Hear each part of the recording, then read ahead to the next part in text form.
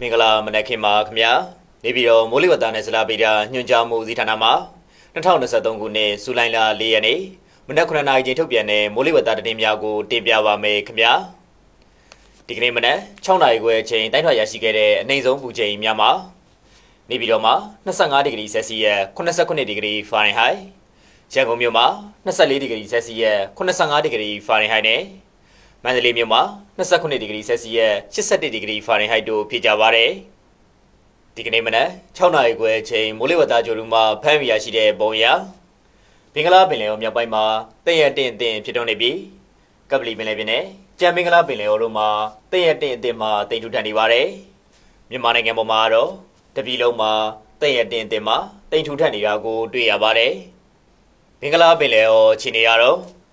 ကပလီပင်လယ်ပြင်နဲ့ဘ င်္ဂလားပင်လယ်အော်တို့မှာမုတ်တုံလေးအကောင့်နေပါတယ်မြန်မာပင်လယ်ပြင်မှာမြဝကျွန်းပေါ်ရခိုင်ကမ်းရိုးတန်းတစ်လျှောက်နဲ့ကမ်းလွန်ပင်လယ်ပြင်တို့မှာရန်ဖန်ရန်ခါမိုးတက်လေပြင်းများကြာရောက်ပြီးလှမ်းကြည့်ပါမယ်မိုးတက်လေပြင်းကြစဉ်ရေပြင်းမြေပြင်းလေးဟာတနအီကိုမိုင်40အထိတက်ခတ်နိုင်ပါတယ်မုတ်တမကွေမွန်တင်တိုင်းကမ်းရိုးတန်းတစ်လျှောက်နဲ့ကမ်းလွန်ပင်လယ်ပြင်တို့မှာတခါတရံမိုးတက်လေပြင်းများကြာရောက်ပြီးလှမ်းကြည့်နိုင်ပါတယ်မိုးတက်လေပြင်းကြစဉ်ရေပြင်းမြေပြင်းလေးဟာတနအီကို35မိုင်ထိတက်ခတ်နိုင်ပါတယ်လှိုင်းမြမှာ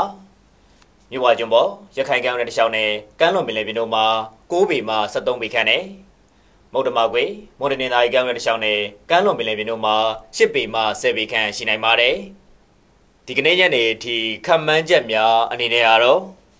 စကိုင်းတိုင်းဒေသကြီးအောက်ပိုင်းမန္တလေးတိုင်းဒေသကြီးမကွေတိုင်းဒေသကြီးနဲ့နေပြည်တော်တို့မှာနေရာကျကျချင်းပြည်နယ်ကချင်ပြည်နယ်နဲ့ရှမ်းပြည်နယ်မြောက်ပိုင်းတို့မှာနေရာစစ်စိမ့်နဲ့စကိုင်းတိုင်းဒေသကြီးထပ်ပိုင်းရခိုင်ပြည်နယ် အေရဝတီတိုင်းဒေသကြီးရန်ကုန်တိုင်းဒေသကြီးပဲခူးတိုင်းဒေသကြီးရှမ်းပြည်နယ်တောင်ပိုင်းအရှေ့ပိုင်းကယားပြည်နယ်ကရင်ပြည်နယ်မွန်ပြည်နယ်နဲ့တနင်္သာရီတိုင်းဒေသကြီးတို့မှာနေရအနှံ့ပြားမိုးထစ်ချုံရွာပြီးမွန်ပြည်နယ်မှာဒေသလိုက်နဲ့စကိုင်းတိုင်းဒေသကြီးထပ်ပိုင်းရခိုင်ပြည်နယ်အေရဝတီတိုင်းဒေသကြီးရန်ကုန်တိုင်းဒေသကြီးနဲ့ကရင်ပြည်နယ်တို့မှာနေရကွက်ပြီးမိုးကြီးနိုင်ပါတယ်နေပြည်တော်နဲ့နီတိုဝိုင်အတွက်ဒီကနေ့ညနေအထိမိုးလေဝသအခြေအနေခန့်မှန်းချက်မှာ နေရာကွက်ကြားမိုးတိတ်ချုံရောက်ပါမယ်။အမြင့်ဆုံးပူချိန်မှာ33ဒီဂရီဆယ်စီယပ်61ဒီဂရီဖာရင်ဟိုက်ရှိနိုင်ပါတယ်။ရန်ကုန်မြို့နယ်နီတိုဝိုင်အတွက်ဒီကနေ့ညနေအထိမိုးလေဝသအခြေအနေခန့်မှန်းချက်မှာမိုးတင်တင်ထိချုံရောက်ပါမယ်။အမြင့်ဆုံးပူချိန်မှာ30ဒီဂရီဆယ်စီယပ်86ဒီဂရီဖာရင်ဟိုက်ရှိနိုင်ပါတယ်။မန္တလေးမြို့နယ်နီတဝိုင်အတွက်ဒီကနေ့ညနေအထိမိုးလေဝသအခြေအနေခန့်မှန်းချက်မှာ